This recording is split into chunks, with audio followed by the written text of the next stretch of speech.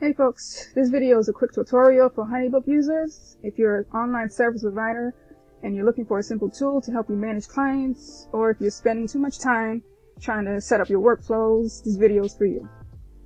Uh, in this video, I'll show you step by step how to set up your HoneyBook account so you can focus on getting new leads and booking clients on autopilot. So once you answer a few questions um, in the onboarding process, you should be right here. So the templates are, is where you're going to have all your templates stored.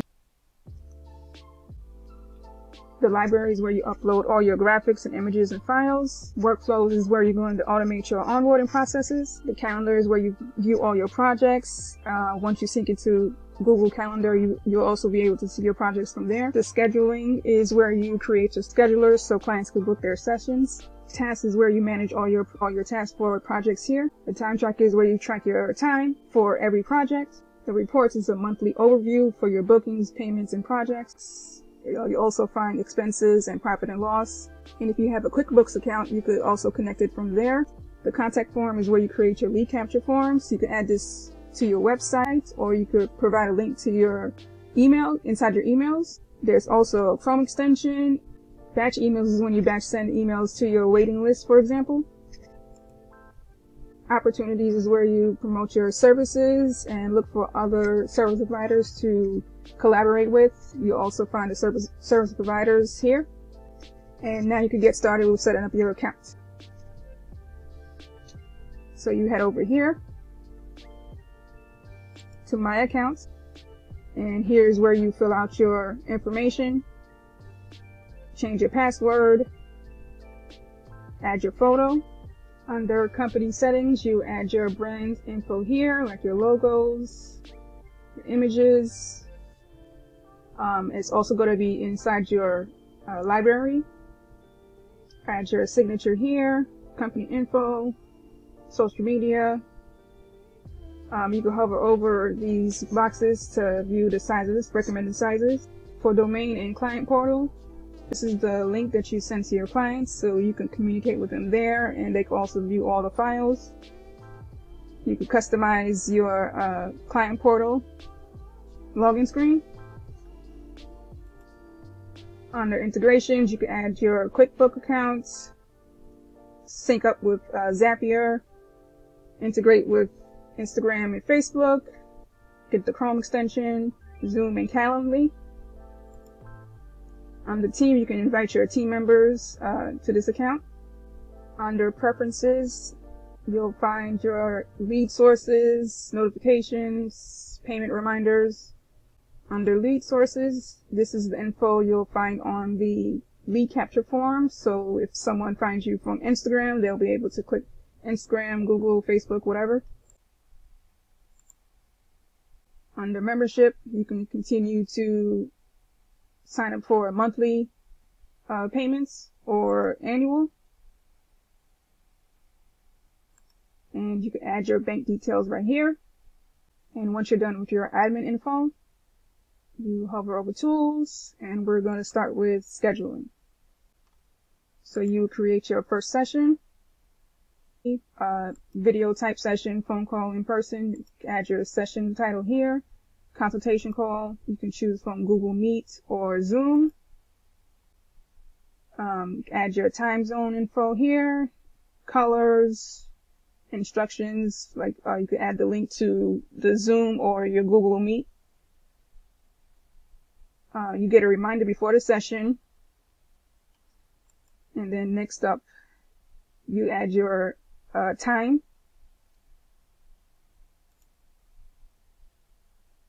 So you could apply this to all Fridays, for example. Change the time to 12 to 7. Save it. And then once you're done with that, get confirmation. And this is the email they'll, they'll receive once they uh, book their session. So you save and finish once you're done with that. After scheduling, you could head over to, to templates uh, your invoices, contracts, proposals, questionnaires, brochures will be all here. This is also where you set up your packages and lead capture forms. Um, you have some scripts here also. Um, the good thing about this is you have plenty of templates and scripts to use, so you don't have to start from scratch. So the first thing you would set up is your packages. Here's a sample package already made for you. Here's where you add your packages. So each um, item will go under here. You click to enter the title name and hour, day, week, month. And you add the amount here, the price here. You can also tap here and add your templates here, or you could set up the service to add it and they could add it for you. Under contact forms, this is where you add your lead capture form. You could uh, embed this link, you can embed this form on your websites or you can send the link to your uh, ideal clients.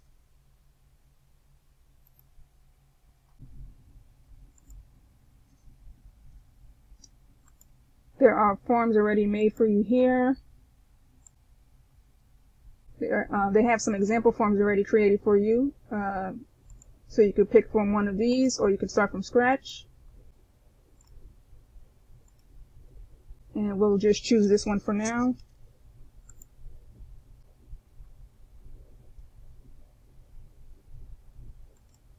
So you can tap here and change your the title of the uh, sections here. Change your photos from in the library and you'll you can choose the photos from here.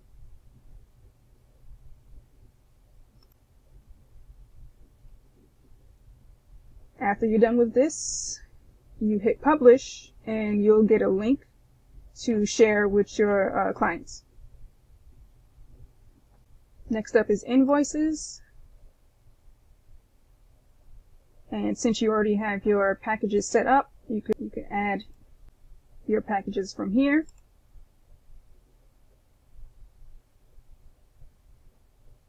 And the total will be right here. You could add your discount here.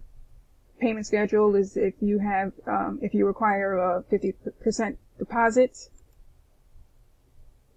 Or if you have recurring payments, you could set it up here also.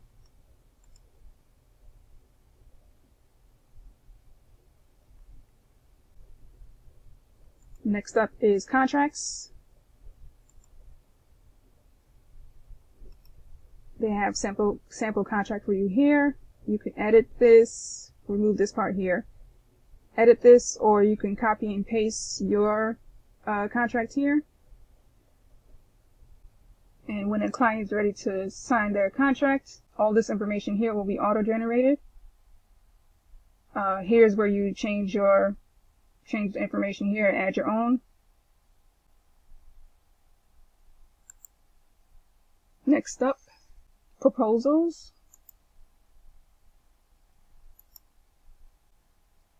Now the invoice and the contract you made will be under here, under one setting.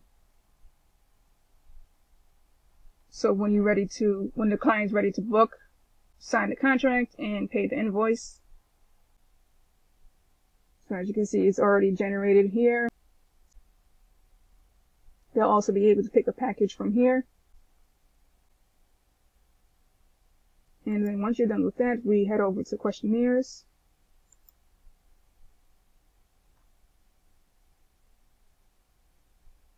Here's where you could send a survey, um, request for a testimonial, You could also uh, set this up to add, ask for feedback. And if you scroll down, you could add a another section here, uh, more fields. So uh, text area, radio button, uh, check boxes, and drop downs. You could also tap here and view more uh, questionnaires from here. And then your next one will be emails. So they have uh, templates for you here. So request for a testimonial. You could pick from any of these templates here. Follow up. Your business info is already here.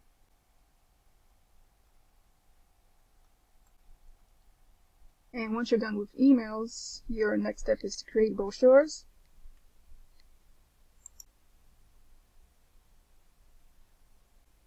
This could be used as a pricing guide or a welcome packet for new clients. Uh, each tab takes them to each section. Can also create new sections.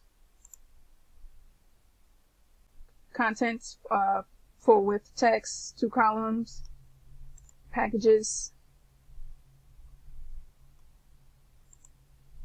or add questions.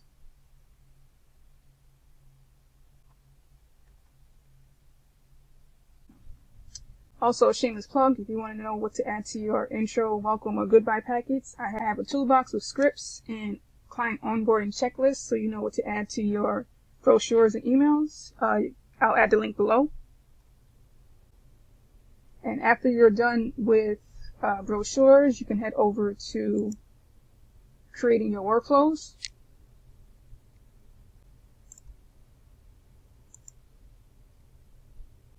And this is where you automate everything that you just created.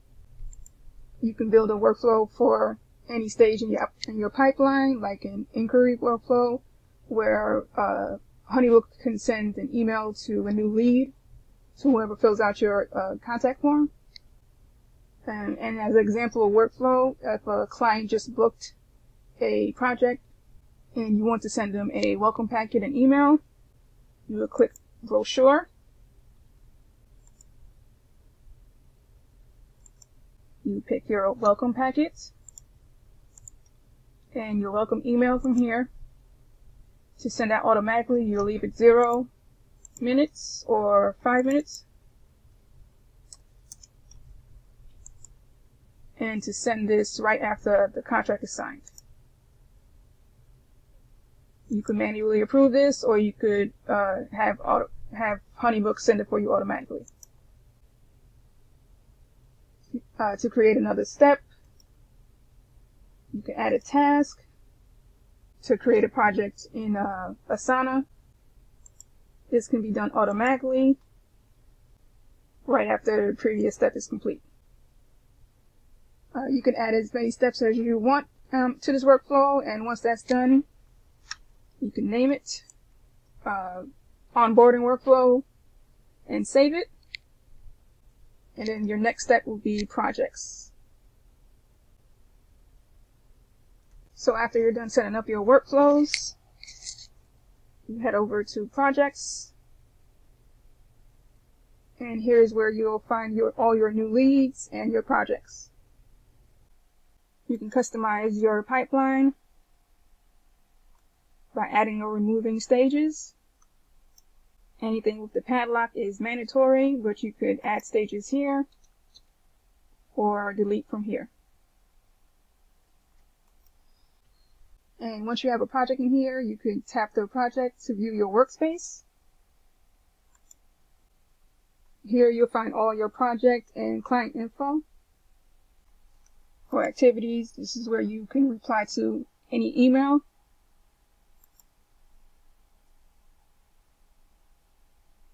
You can see when they read the email. Under files, you'll find all your files here. So anything you created, uh, templates, brochures, etc. will be here. The details, project name, project type, date, anything about the project here. You can add your notes here and the clients won't see them. It's just you and your team members. Here's where you will grab the link to the client portal and you can send to your client. You can add your notes here, time tracker, tasks. You could also uh, sync this with another workflow. You can change the title of the project here. Also change the image. Grab one from their library. And that's basically it for Honeybook. From the dashboard, you'll be able to see all your projects from here, uh, your calendar, any upcoming events, any payments, And once you have your account set up, you can head over to Tools, then Opportunities, and make sure to promote your services here.